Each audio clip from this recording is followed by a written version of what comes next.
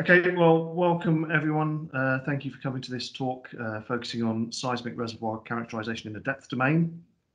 Uh, what I'll do today is, is to take you through uh, the application of some new technology which has been developed by Ikon Science over the last uh, several years. We'll start with a, a brief introduction and rationale. Um, so why would we want to uh, invert in depth in the first place? Following that, we'll start to we'll, we'll, recap on what some of the key challenges are before introducing uh, the facies-based inversion technique in the time domain and how that uh, technique has been modified to operate in the depth domain. Following that, uh, we'll take a look at a, a brief case study uh, before summarizing with a handful of uh, conclusions. So historically, uh, the vast majority of seismic data have been uh, acquired and processed in the native um, time domain. But in the last uh, 10, 20 years or so, um, we have seen pretty dramatic improvements in depth processing and imaging, uh, and specifically uh, the true amplitude recovery that's required to make those data sets appropriate for uh, quantitative uh, reservoir characterization studies. Correspondingly, um, there have been pretty significant improvements in the velocity modeling aspects of uh, the, the, the, depth imaging. Um, and as a result, what we have started to see is that uh, a significant number of, of uh, companies and interpreters in those companies um, are, are, starting to undertake all of their seismic interpretation uh, uh, workflows um, exclusively in the depth domain.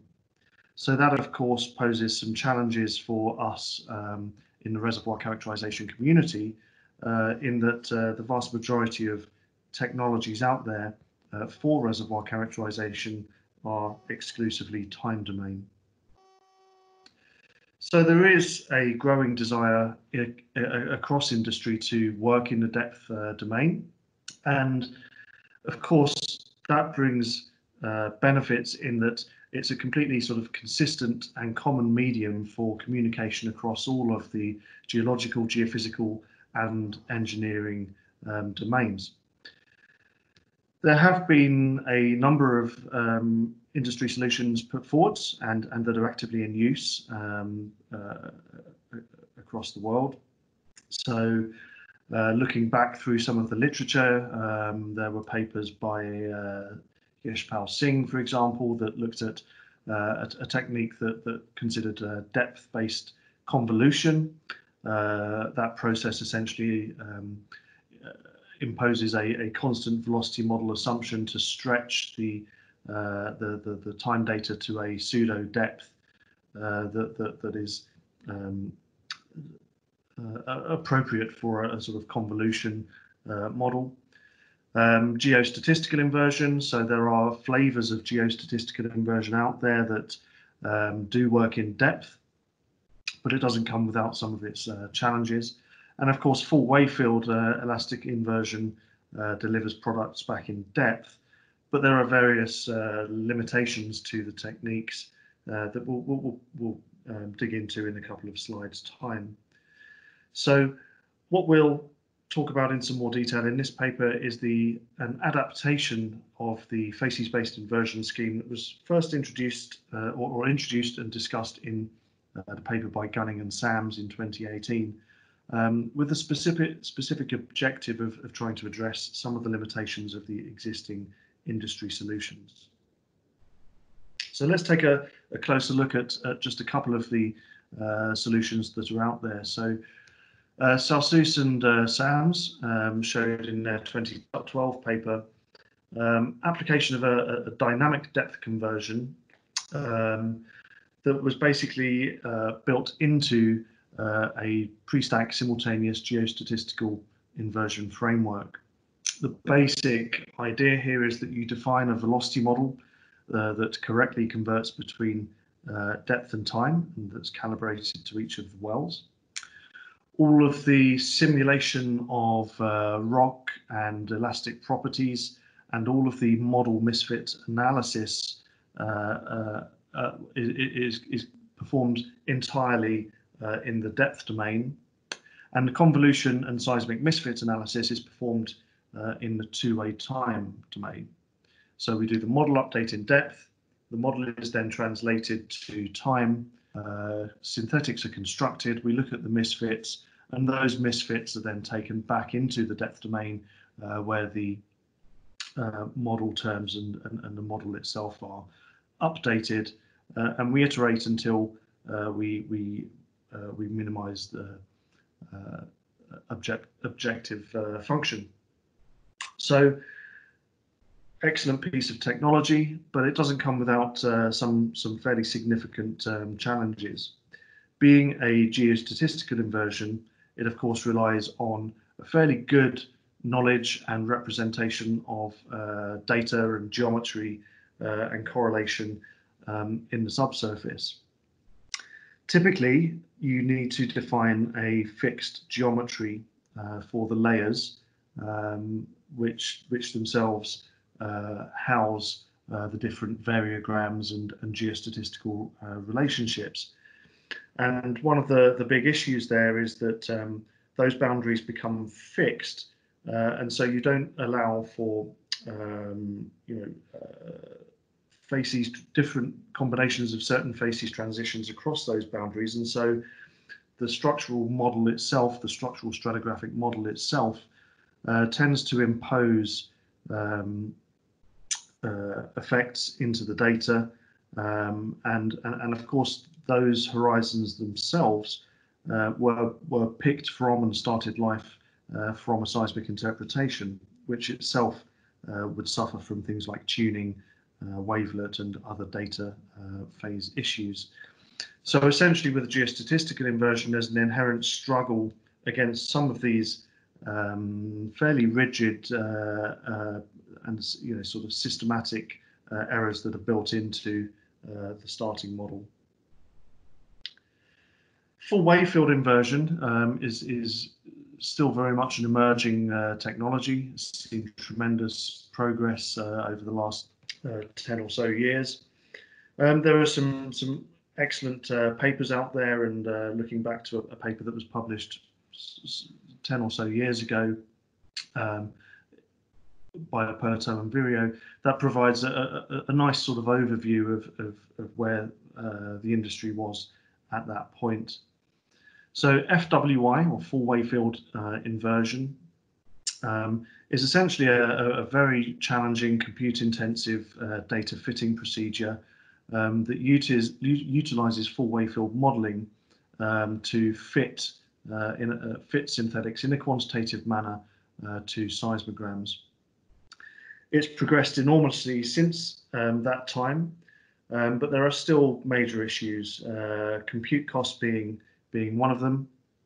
Um, and you can see the relationship defined there between uh, the frequency content of the uh, inverted properties uh, versus the compute cost. So there are significant increases in the compute cost uh, for each incremental increase uh, in, in the frequency that, that, or the target frequency that you, you, you want to achieve. Um, there's a lot of work uh, looking at full elastic um, wave field inversion. Um, it's estimated that, that you're looking at a, a, an increase in at least 100 times in terms of compute costs. Um, and, and, of course, this is to try to uh, get amplitudes that are, are, correct for those generated from the shear wave and density components. Um, and of course, even having achieved those two first uh, points or addressing those two first points, um, there are still no sort of sensible constraints which have been built into uh, FWI uh, to date. So how do we ensure that the properties that uh, that, that, come out actually uh, honour the rock property relationships that we would know uh, to be true for certain regions? So much work to be done. So to sort of summarize uh, and, and, and reiterate on some of the challenges, inversion in the time domain, you know, two-way time is, is, is typically completely abstract to geologists and engineered engineers.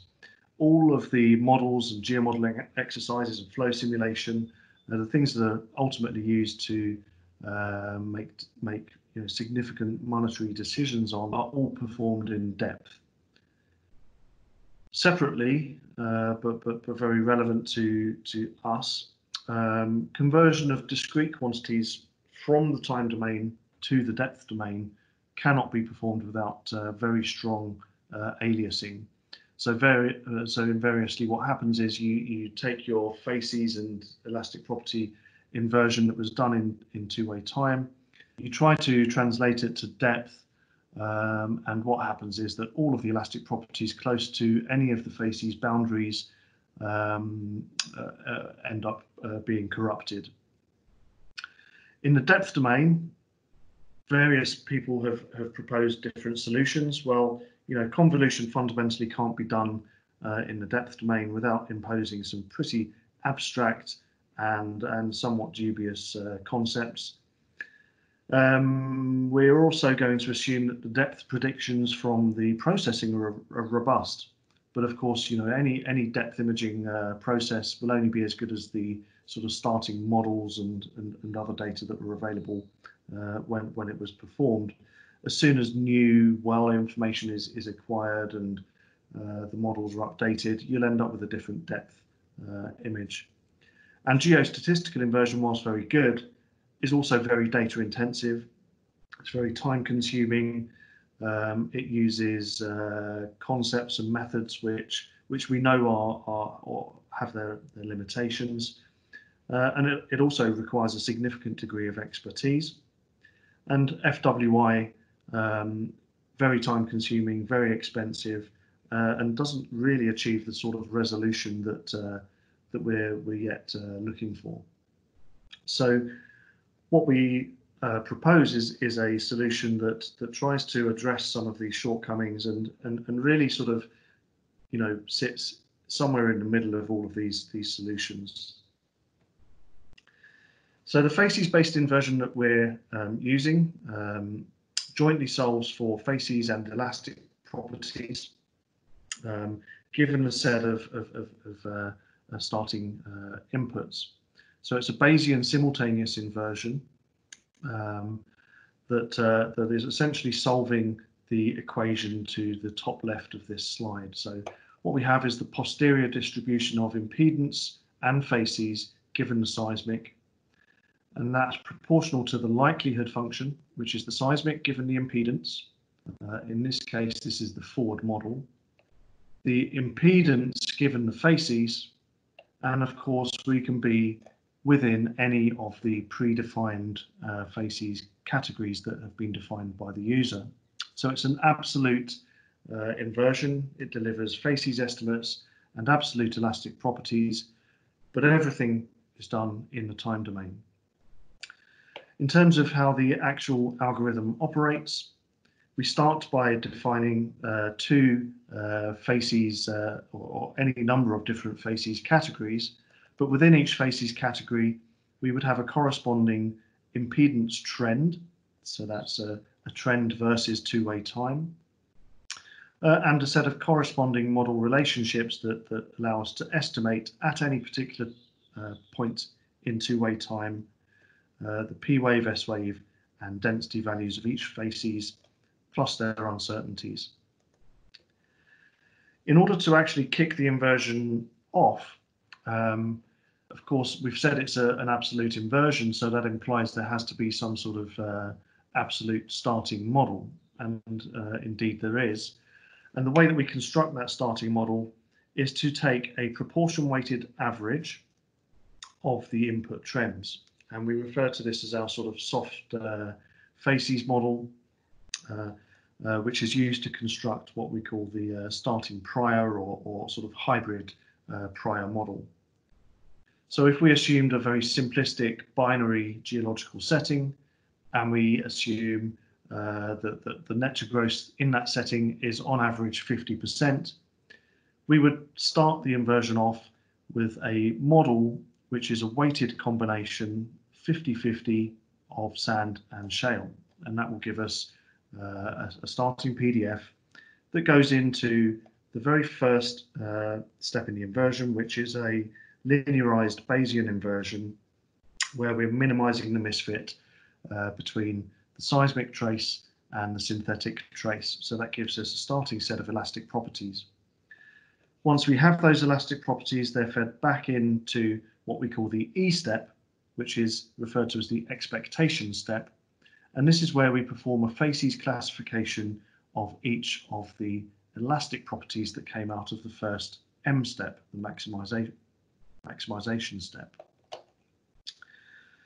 The facies that come out of, of this E step are then used to create a new weighted version of the input trends.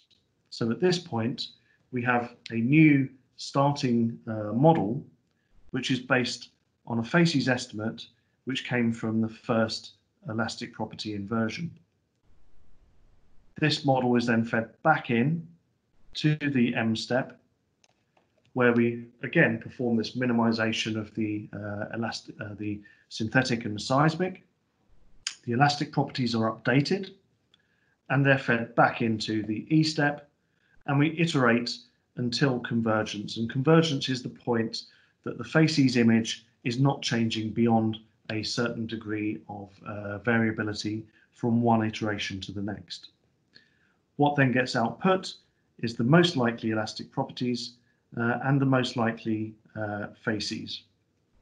Okay, so these two things are fundamentally constrained and tied to one another if I come out as a, as a sand facies, I will have elastic properties that fit within uh, the rock physics uh, model characteristics for that particular facies and likewise for shale.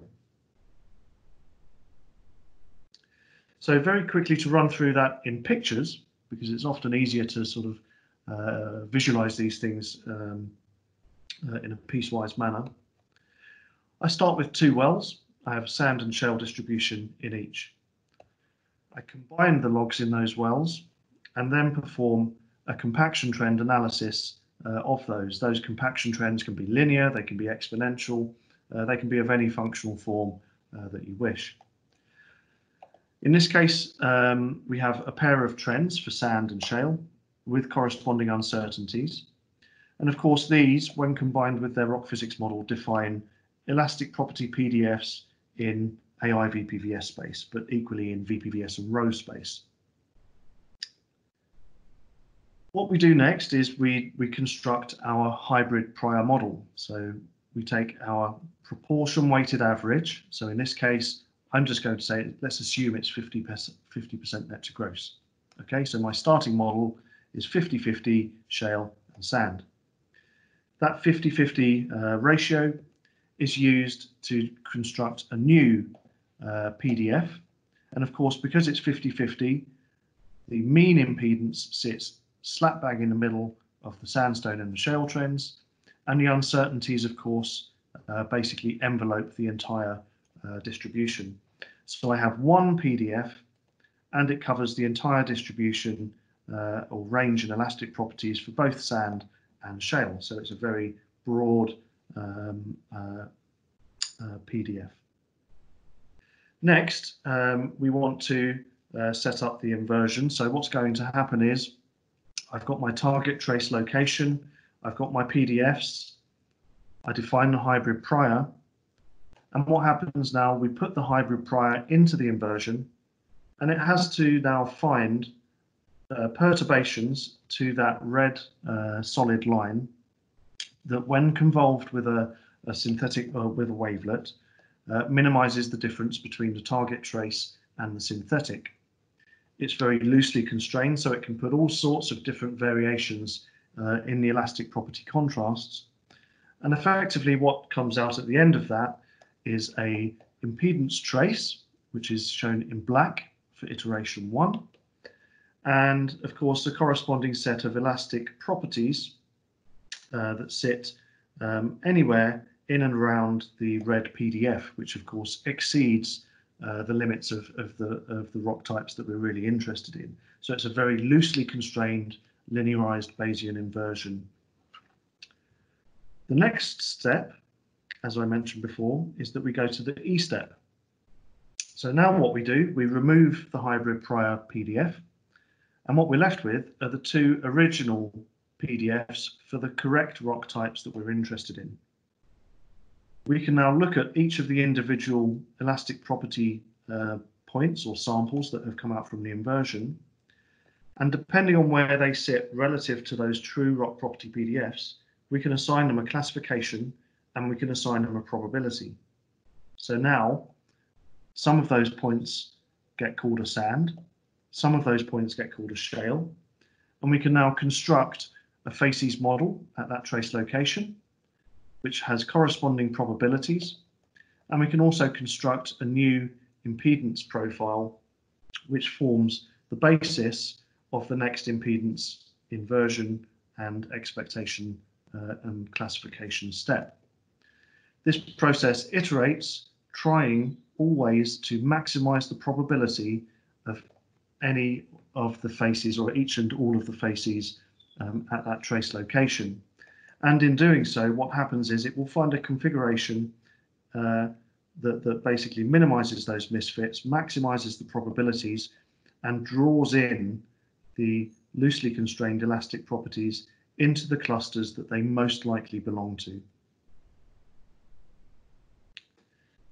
Doing all of this in time um, is, is, is, is, is great, well, um, but it does come with some limitations. One of the key limitations, it turns out, is that um, the sampling uh, of the seismic data itself um, imposes some some challenges in terms of lateral continuity uh, and and constraints, and that can ultimately limit um, or, or, reduce the overall benefit of having lateral constraints um, in the inversion.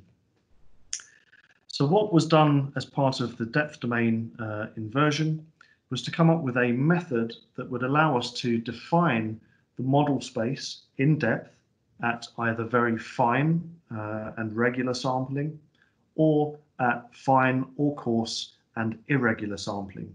So we could actually have a starting model which has irregular depth steps. For example, the type of model that you might get from a geocellular uh, grid. The finely sampled uh, depth model is then translated to time using uh, something called uh, Lagrange four-point extrapolation. So it's a mathematical method for uh, fitting data to uh, a model. And this is done in a completely uh, lossless manner. So we, we absolutely can reproduce the, uh, the, the reflection coefficients um, without any aliasing uh, whatsoever. The reflection coefficients are then used to do the convolution in time, and all of the model updates are done in depth at whatever target sample rate, regular or irregular, that you would like. So now when we revisit uh, the uh, schematic that looks at the way the uh, inversion works, well now effectively almost everything remains the same, but it's just done in a depth domain. The only part that happens in the time domain is the seismic to synthetic misfit. So we come up with our trends, which are all now in depth.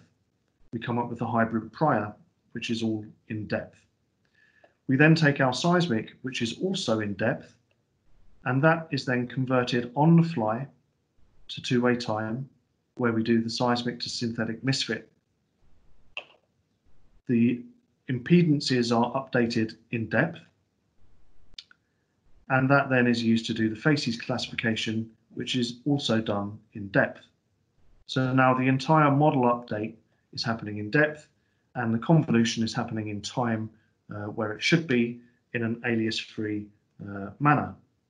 So we can now get all of the benefits of operating in the depth domain, which should help to give us uh, improved lateral continuity, better imaging, particularly where we have thin layers uh, and shallow dips or, or, or steep dips, um, uh, and, and ultimately properties that, that are delivered directly from the inversion process in a domain that's relevant to the geologists and the engineers. So let's have a look at a, a, a short uh, case study. So the data set that we'll be using uh, is the Forties field. It's a Paleocene turbidite reservoir uh, discovered in 1970. Uh, it's been on production for well in excess of uh, 40 or so years now. Um, and it's about four and a half to five billion barrels of oil uh, initially in place. It's a four-way dip closure with a stratigraphic element to the southwest of the field. It is stratigraphically complex, it's compartmentalized, um, and in fact the southwestern portion of the field, referred to as the Charlie area, uh, is, is actually in pressure uh, isolation from the rest of the field. Uh, the geology is characterized by uh, turbidite uh, channels and sheets, um, but of course the margins uh, of the field and the margins of some of these the, the channel and sheets and lobes um, are difficult to image, but, but may contain significant volume. Um, one of the other challenges, of course, is that because of the um, frequency content bandwidth of the data, you know, historical methods have, have, have sometimes struggled to identify uh, these thin uh, areas of remaining pay um, or bypassed pay. So the seismic data set comprises uh, five angle stacks ranging from 9 to 42 degrees. Um, the velocity model that we're using is a, uh, a layer cake um, velocity model, uh, varying uh, interval velocity um, across the area uh, based on um, 31 of the exploration and appraisal wells. Uh, we have a, a, a wavelet that that uh, has been estimated for each corresponding angle stack. And we are using four uh, compaction trends uh, for four primary elastic facies being overburden shale, reservoir shale, uh, brine bearing and hydrocarbon bearing sand. Uh, looking at the velocity model itself, these were mapped out based on time depth pairs at each well location. The depth surfaces were subsequently tied uh, to the well tops and the velocity model uh, updated accordingly. Um, and as you can see from the images on the top uh, top right, uh, you can see that in the overburden there is a a, uh, a change um, in the velocities, so slightly higher velocities as we go off the edge of the structure. So that will of course cause some um, distortion um, when you look at the data in the time versus the depth domain. Um, and looking at the target interval, you can see that there's an overall decrease in the interval velocity uh, from east uh, to west, uh, which is likely re related to changes in the net gross uh, through that um, interval. Now we're deliberately using a very simplistic velocity model uh, because we want the guarantee of uh, calibration of the inversion in depth and of course, if you have a velocity model from your uh, geo modelers, um, then that's the model that you would want to use so that you can guarantee the properties that come out uh, will be in the right place uh, for the depth model uh, and for the uh, petrophysical modeling that might be done for the uh, engineering model. The rock physics priors uh, were built up using um, some cluster analysis using Gaussian mixture uh, modeling, as well as um, Bayesian classification uh, as a sort of independent control and QC. Multi-well fluid sub was performed for all of the Forties um, reservoirs. And then the rock physics priors were defined as, as trends uh, of the form uh, shown uh, to the, the, lower left of the slide. Um, now you can actually do this in the time domain um, inversion um, so we can provide depth domain trends uh, to the uh, inversion engine and it will convert these on the fly to the time domain. But for the depth inversion, of course, they don't require any domain conversion at all. Those trends define elastic property PDFs in every elastic property space. Uh, and for QC, we typically look at uh, P-wave and density, VPVS, uh, AI VPVS, and AI and shear to make sure that the uh, PDFs, their spread, the standard deviations are all um, appropriate for the data that we're uh, we're actually looking at. So let's have a look at uh, some results. So here we're looking at an arbitrary line through the echo area. We're looking at the near stack seismic shown in depth um, and the same data uh, shown in depth, but that started out um, in, in a time. So these are basically identical um, images. This area of the field was uh, only on production for six months at, at, the time of seismic acquisition, so it's, it's pretty close to being at virgin uh, conditions, but there is some local production. What we're now showing is the inverted facies in depth. So both of these images are in depth, but the lower one is the in, is is the uh, time domain inversion converted to depth. And a close comparison of the two, uh, we can start to see some of these differences, uh, which can be problematic to us um, in the modelling space uh, and in the sort of volumetrics and reserves um, space. So we can see that there are lots of stair-stepping artifacts.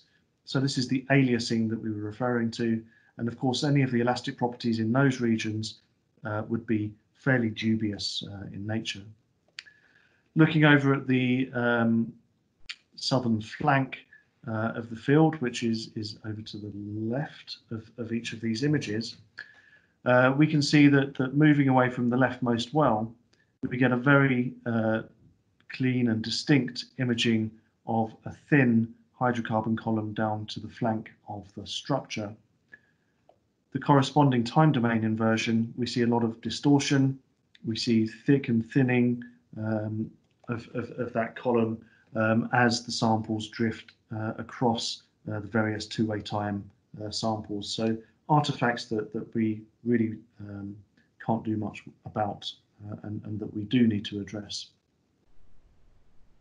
So we see better lateral continuity, we see better prediction and more realistic predictions of the hydrocarbons um, away from the wells, um, and, and ultimately uh, uh, an improvement from uh, the depth-based uh, inversion. And because the elastic properties are tied to the facies images, we see a corresponding um, improvement in the elastic properties. So this is the VPVS.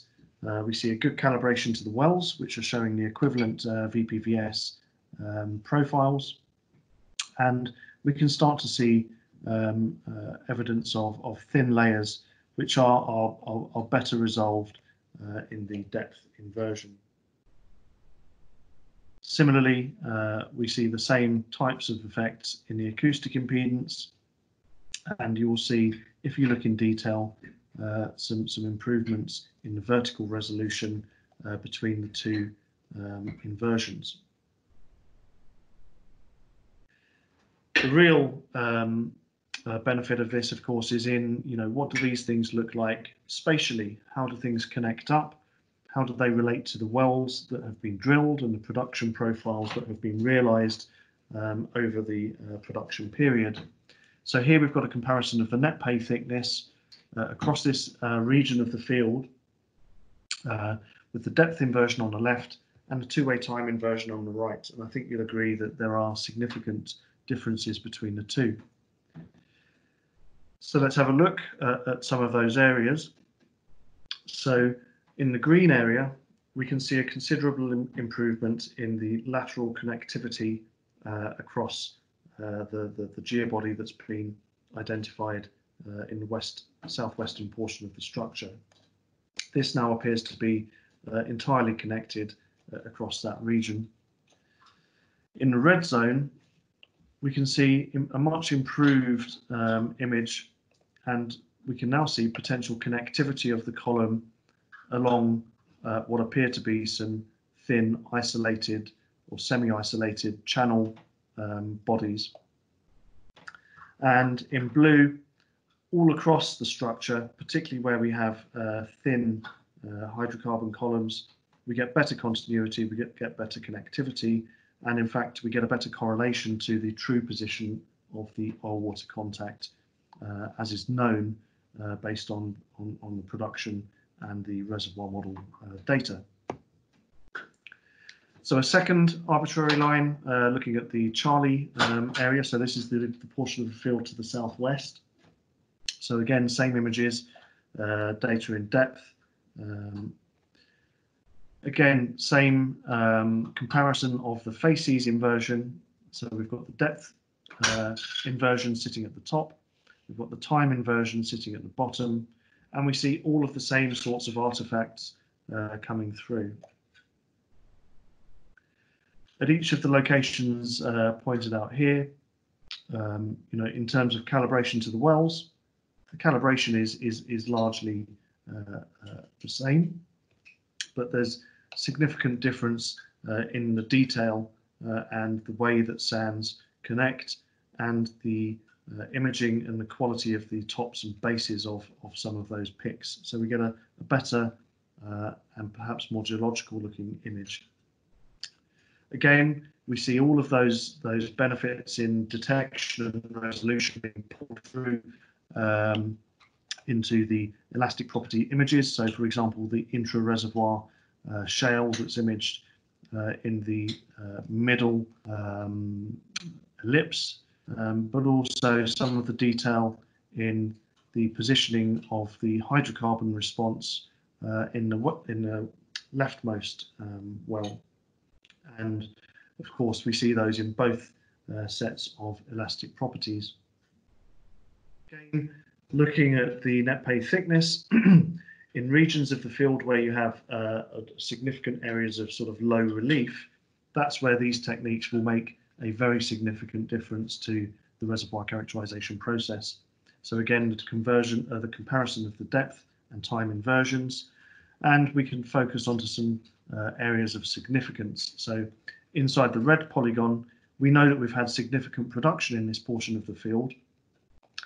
The time domain inversion, whilst it does show a patchy response, it's not immediately obvious that these are uh, completely connected or related to uh, the production wells that, that are shown. Uh, the depth domain inversion, because we have that improved uh, continuity and because we can do a better job of imaging thinner uh, zones of pay, uh, we get a slightly more plausible relationship between the two. We've got significantly improved lateral continuity, particularly in this orange zone where we have quite a thick channel axis coming through, um, which looks rather patchy in the time domain inversion, um, but, but shows much better um, uh, imaging uh, from the depth domain uh, inversion.